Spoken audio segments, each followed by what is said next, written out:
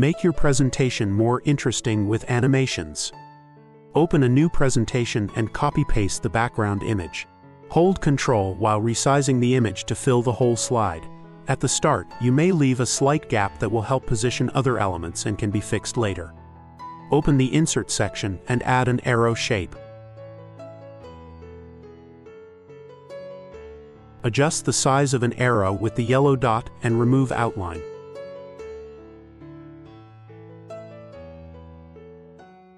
Now it's time to insert a line shape alongside the arrow's edge.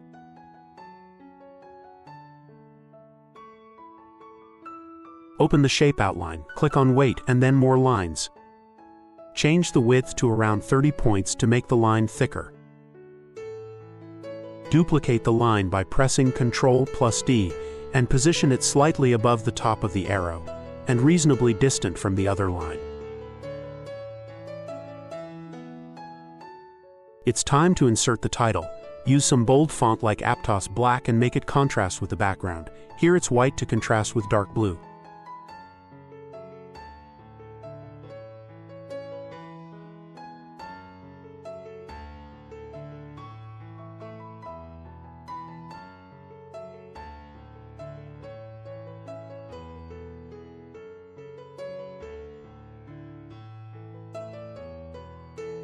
Time to insert the description box. Make it the same color as the title.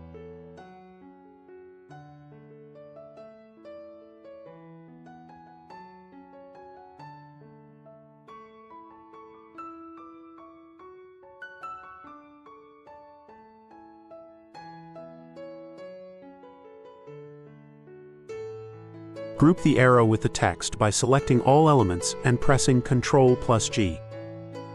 Duplicate the slide by pressing Ctrl plus D.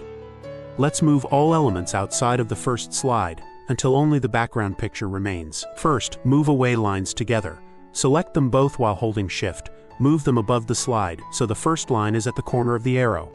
Now move the arrow group away only horizontally. Click on the second slide Open Transition and apply Morph Transition. Everything is ready, but let's just add a little detail, title to the first slide. It will make an example transition from the title slide.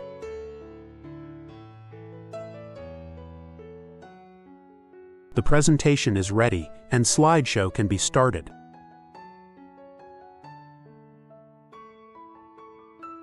Thank you guys for watching. If you like the video, you can subscribe and leave a like, and we will see each other in next video.